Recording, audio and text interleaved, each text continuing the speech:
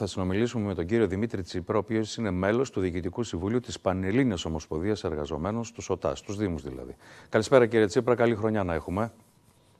Καλησπέρα κύριε Γρηγορή, καλή χρονιά σας και στους τηλεθεατές σας. Δεν ξεκίνησε καλά η χρονιά, ένα ακόμα εργατικό ατύχημα και μια συνάδελφός να χάνει τη ζωή της στην καθαριότητα και από ό,τι φαίνουμε και λέει το ρεπορτάζ και ανασφάλιστη. Ε; Καθόλου καλά δεν ξεκίνησε. Κύριε Καρυπίδη, νομίζω μακραίνει ο κατάλογος, όπως προηγουμένως είπατε, των θυμάτων στην τοπική αυτοδιοίκηση ε, από εργατικά ατυχήματα. Που κάποια μπορούμε να τα χαρακτηρίσουμε και εγκλήματα, δεν είναι απλά ατυχήματα. Όμως θέλω να επισημάνω ότι η πολιτική της ε, κυβέρνησης τη Νέας Δημοκρατίας για να ουσιαστικά διαλύσει το ΣΕΠΕ και να μην υπάρχει κανένα έλεγχο ε, είναι πολύ σημαντική για μας. Δημιουργεί ε, μεγάλο θέμα στην τοπική αυτοδιοίκηση. Βεβαίως, θεωρώ ότι και οι δήμαρχοι πρέπει να δουν και να αναλάβουν τις ευθύνες τους και να δώσουν ιδιαίτερη βαρύτητα σε αυτό το τομέα, να μπορούν να έχουν τα είδη ατομικής προστασίας και τους κανόνες υγιεινής και ασφάλειας που σε πολλούς Δήμους το περνάνε το θέμα ελαφρά την καρδία και δεν, ε, δεν το, μάλλον δεν το βλέπουν σχεδόν καθόλου κάποιοι Δήμοι. Όμως, ε, στην συγκεκριμένη περίπτωση, το χειρότερο, όπως είπατε και στο ρεπορτάζ, ο, ο συνάδελφός σας, είναι ότι ήταν και αδήλωτη εργασία και μαύρη εργασία. Και αυτά δεν επιτρέπεται το 2023 να συμβαίνουν στους Δήμους. Είναι απαράδεκτο. είναι, σηκώθηκε δηλαδή μια γυναίκα να πάει να βγάλει το μεροκάματο στην καθαριότητα, έτσι. Στην αποκομιδή, στη συγκομιδή των σκουπιδιών και την ώρα που εκτελούσε την εργασία της πέρασε ένα αυτοκίνητο και τη σκότωσε.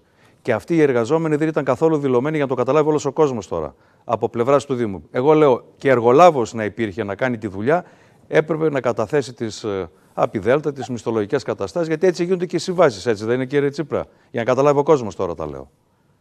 Ακριβώς. Γίνονται οι συμβάσεις, αναλαμβάνουν την εργασία.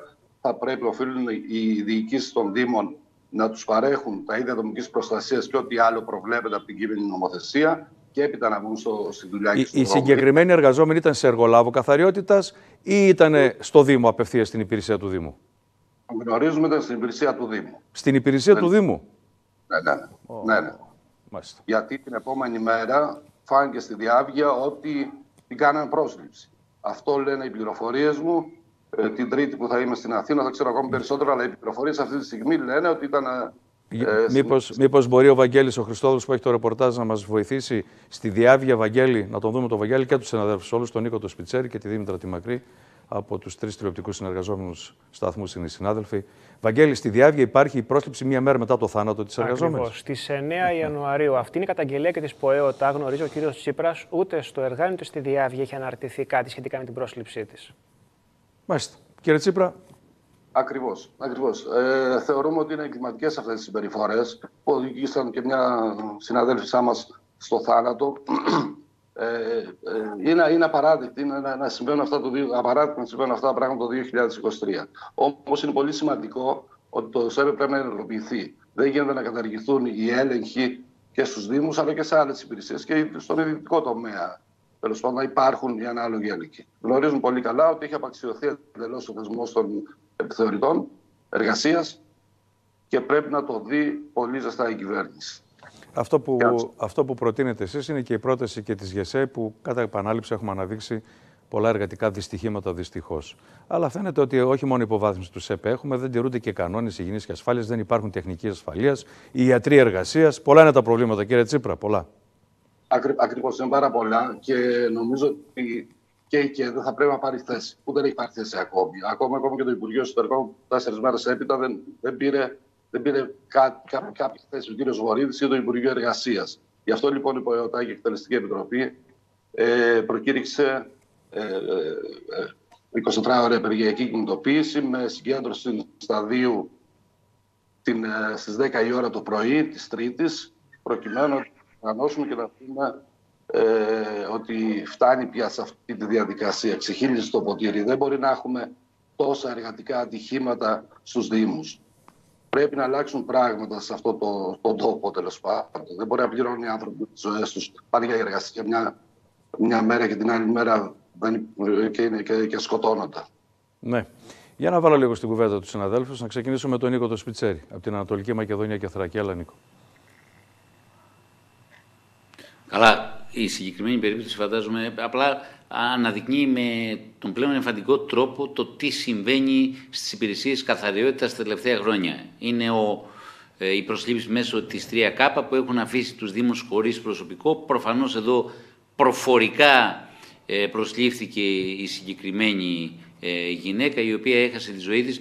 Υπάρχει όμως ένα συνολικότερο ε, θέμα ε, πώς λειτουργούν οι υπηρεσίες καθαριότητας και ε, πώς ε, ορισμένοι εργαζόμενοι ε, υποχρεούνται να εργαστούν σε αυτές τις υπηρεσίες. Υπάρχει ένα τέτοιο συνολικότερο θέμα, έχει απασχολήσει την Ομοσπονδία σας; Ναι, κοιτάξτε, ε, κατά καιρούς προσπάθησε να απαξιωθεί η συγκεκριμένη υπηρεσία, η υπηρεσία καθαριότητας με μη προσλήψη προσωπικού, με να μην μπορούν να πάρουν αυτοκίνητα. Στόχος, ο απότερος σκοπός ήταν να, να απαξιωθούν και να δοθούν στο, στο ιδιωτικό τομέα, σε ιδιώτες. Αυτό είναι φιλέτο για κάποιους ανθρώπους. Η Ομοσπονδία προσπάθησε πολλές φορές να αποτρέψει αυτές τις ιδιωτικοποιήσεις και να λειτουργήσουν με βάση την εργατική νομοθεσία και την κείμενη τέλος πάντων νομοθεσία να, να, και με εκπαίδευση όπου χρειάζεται και με μέσα ατομικής προστασίας και με καλά μηχανήματα και με ασφαλισμένα μηχανήματα που πολλές φορές ήταν και ανασφάλιστα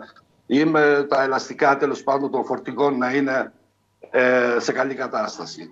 Δυστυχώς, ε, με ευθύνη των συνολικά, πολλές φορές δεν γίνονται αυτά. Το αποτέλεσμα να έχουμε αυτά τα δικαιώματα που έχουμε.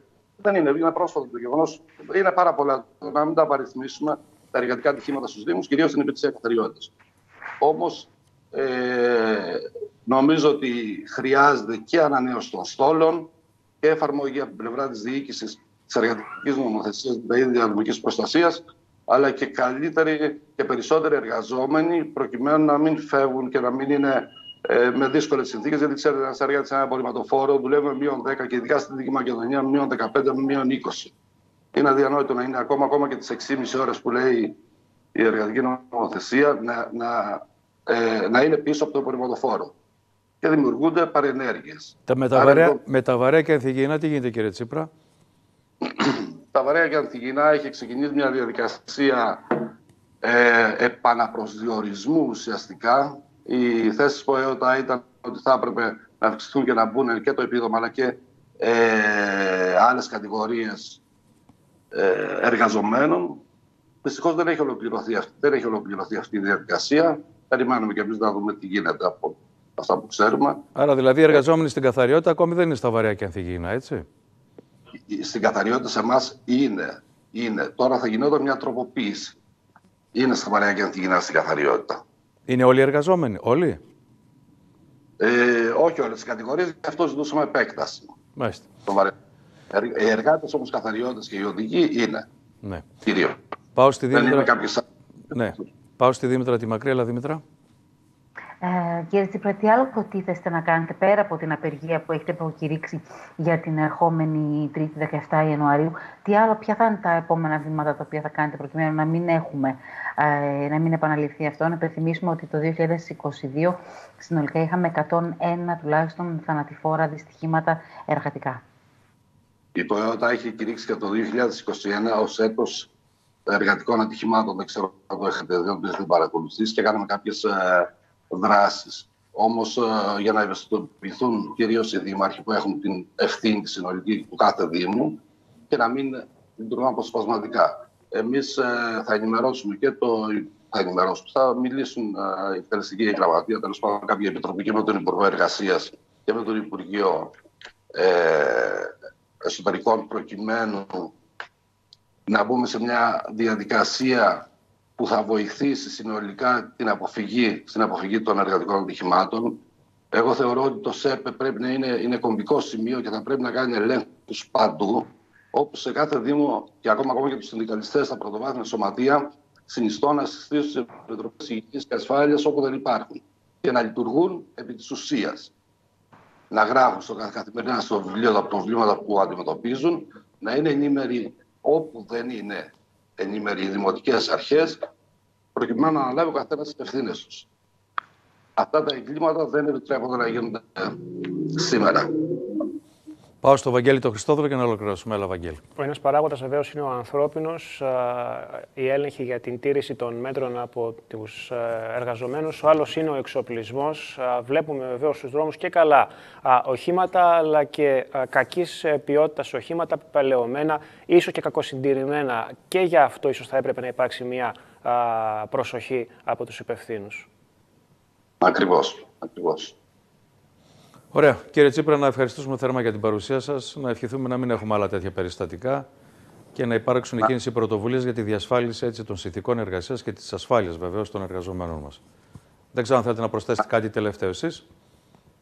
Όχι, όχι, δεν έχω κάτι άλλο να πω. Νομίζω υπόθηκαν όλα στη συζήτησή μας. Ε, νομίζω ότι θα πρέπει να δείξουν απόλυτα ενδιαφέρον ακόμα, ακόμα και η ΚΕΔΕ που δεν έχει πάρει θέση ακόμη είναι, για μένα είναι καταδικαστέα. Έπρεπε να πάμε στην πρώτη που αφορούν. Είμαστε μια οικογένεια στην τοπική αυτοδιοίκηση και οι αιρετοί και οι εργαζόμενοι και πρέπει όλοι να δούμε μαζί το μέλλον ε, των συναδέλφων στην τοπική αυτοδιοίκηση. Να είστε καλά. Καλή χρονιά να έχουμε.